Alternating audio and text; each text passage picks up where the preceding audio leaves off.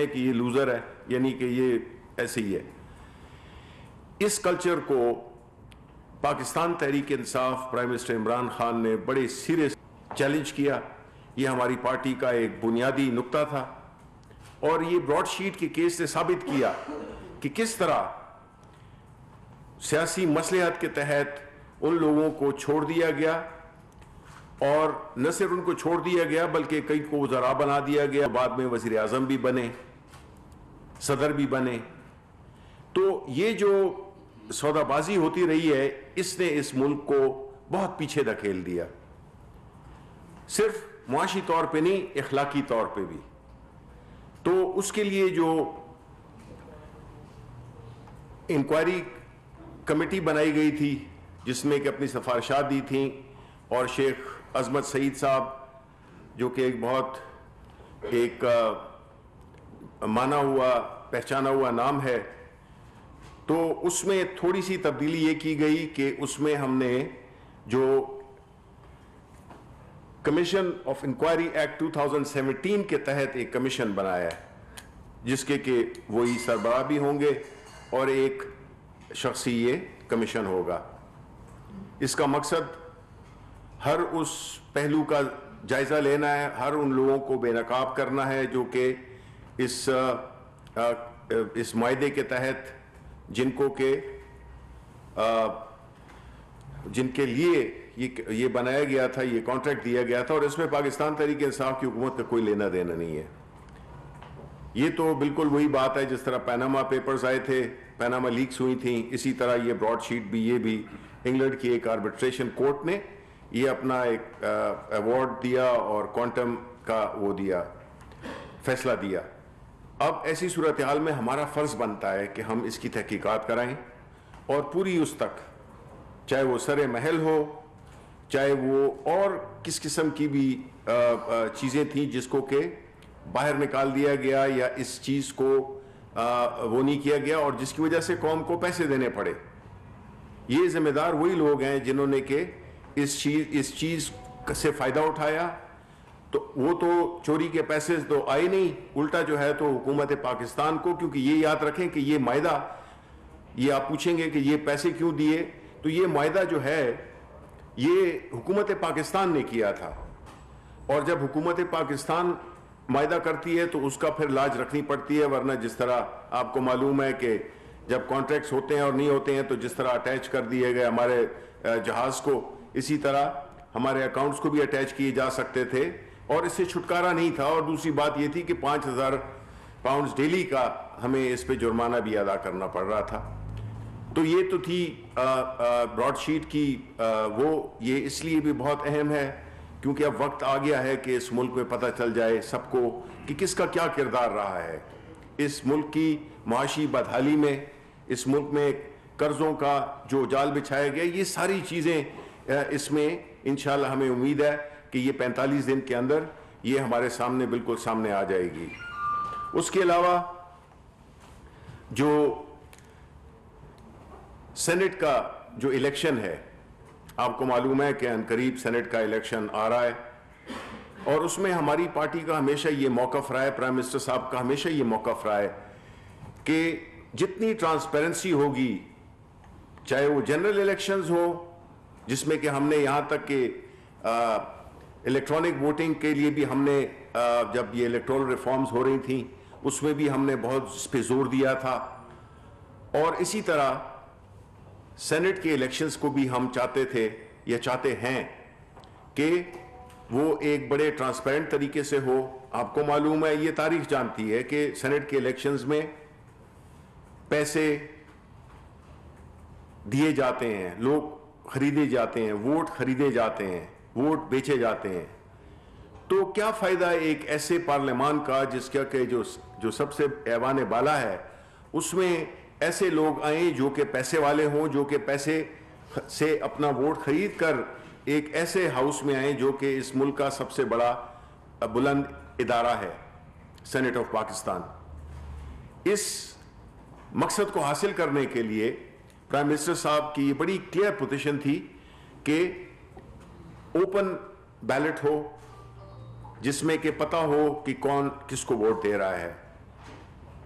इसको आपने अपने मुल्क के तनाजुर में देखना होगा और ये सिर्फ़ खैबर पुख्तनख्वा नहीं है, ये बलूचिस्तान में भी यही मसला है, पंजाब में भी यही मसला है, सिंध में भी काफ़ी चूँकि उधर एक हुकूमत रही है, उधर भी ये मसला है तो ये और फिर जहाँ तक मेरी इंफॉर्मेशन का ताल्लुक है, आज वो लोग जो कि इसको अपोज कर रहे हैं, आज जो सेनेट में और मुख्तलिफ़ जगहों पर तकरीरें कर रहे हैं इसकी मुखालिफत में, ये उनको भूल जाते हैं कि उनकी अपनी पार्टी जो उन्होंने कहा था, उसमें एक हिस्सा था चार्टर ऑफ़ डेमोक्रेसी था या कुछ था इसमें, उनका एक मुतालबा यही था।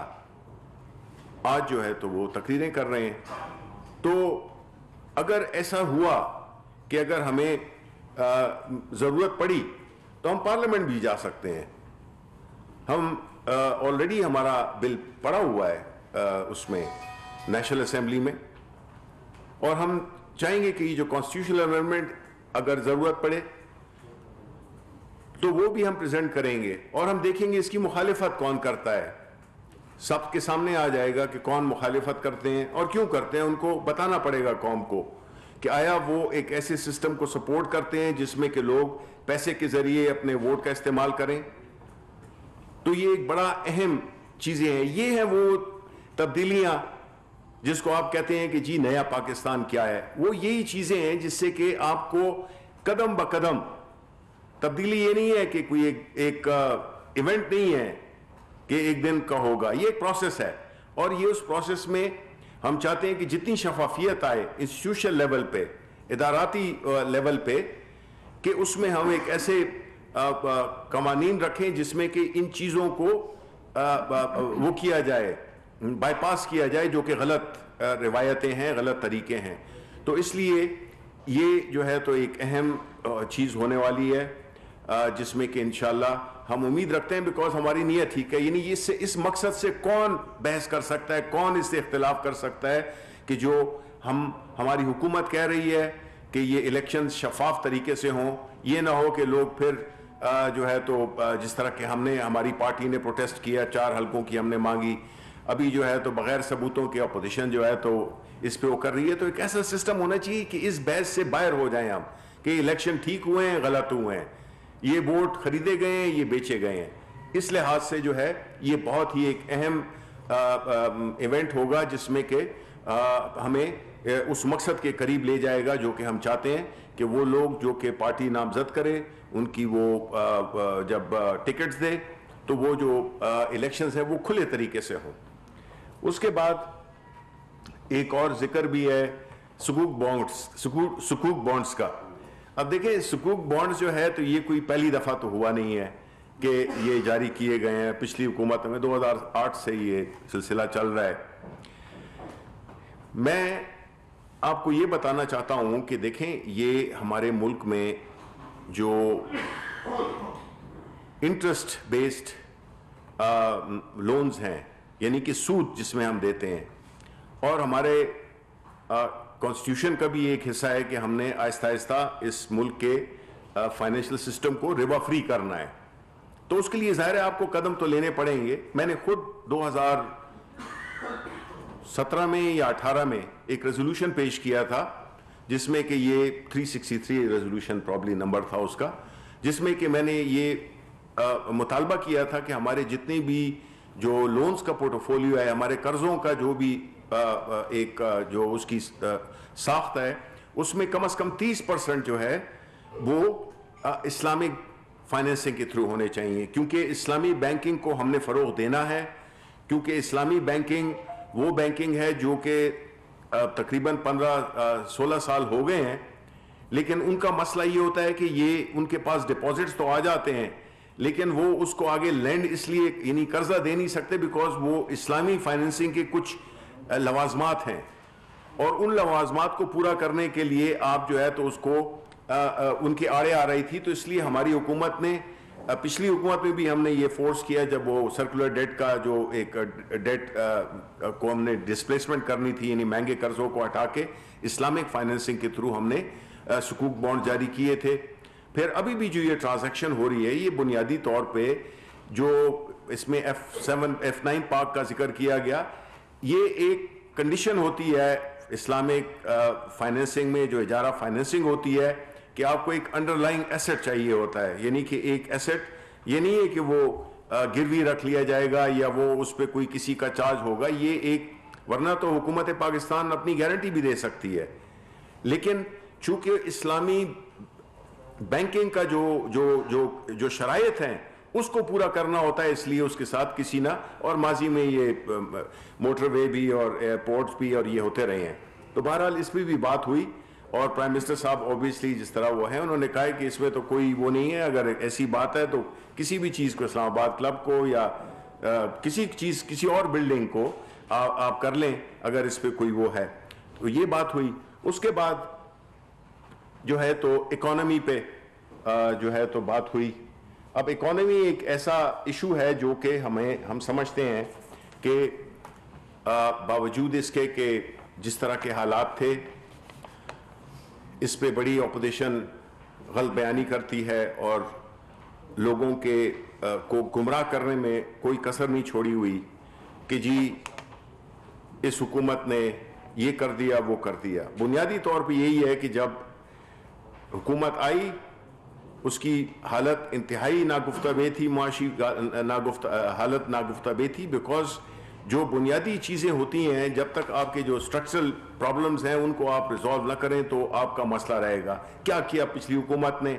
उन्होंने डॉलर को मसनू सतह पर रखा, जिसकी वजह से एक तो यह है कि जो कर्जे, जिसके बारे में अभी मैं बात करूँगा, वो कम नज़र आते थे। दूसरी बात यह थी कि इम्पोर्ट्स आपको सस्ती नज़र आती थी, उससे इंडस्ट्री तबाह हुई बिकॉज़ इंडस्ट्री बनाना वारे में नहीं आता था क्योंकि इम्पोर्टेड चीज़ सस्ती होती थी।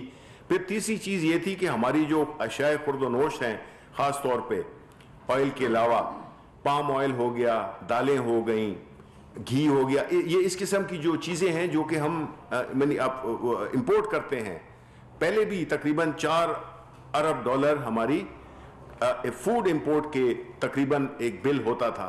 तो ज़ाहिर है कि जब वो इतने अमाउंट में आप अगर इंपोर्ट करेंगे और अगर फिर डिवेल्युएशन हो और डिवेल्युएशन हमने क्यों की? डिवेल्युएशन इसलिए की कि एक तो यह है कि जो उसको हमने ये नहीं है कि डिवेल्यू किया हमने उसको मार्केट की आ, उस पर छोड़ दिया कि जो भी मार्केट तयन करे उसका रेट वही एक रेट होगा। और वो हुआ ज़ाहिर है चूँकि वो एक बड़े मसनू लेवल पे था तो वो एक अपनी असली वैल्यू पे आ गया। उससे क्या हुआ कि हमारे कर्जे भी बढ़ गए और दूसरा ये हुआ कि जो चीज़ें हम इंपोर्ट करते हैं, वो ज़ाहिर कि महँगी हो गई। तो ये एक बुनियादी वजह थी कि हमारी इकोनॉमी को आईएमएफ में भी जाना पड़ा, क्योंकि हालात ऐसे थे। डॉलर रिज़र्व कुछ भी नहीं थे। करंट अकाउंट डेफिसिट हमारा बहुत बड़ा हुआ था। 60 अरब की इंपोर्ट्स होती थी और 20 22 अरब डॉलर की एक्सपोर्ट्स होती थी। फिर रिमिटेंसेस को मिला के तो फिर भी हमारा जो करंट अकाउंट का जो खसारा है वो फिर भी 20 अरब डॉलर के लगभग होता था। उसको हमने तकरीबन ज़ीरो पे ले आए, बल्कि कुछ दिनों में तो पॉजिटिव में भी चला सब्सक्राइब करें और बेल दबाएँ ताकि कोई खबर रह न जाए।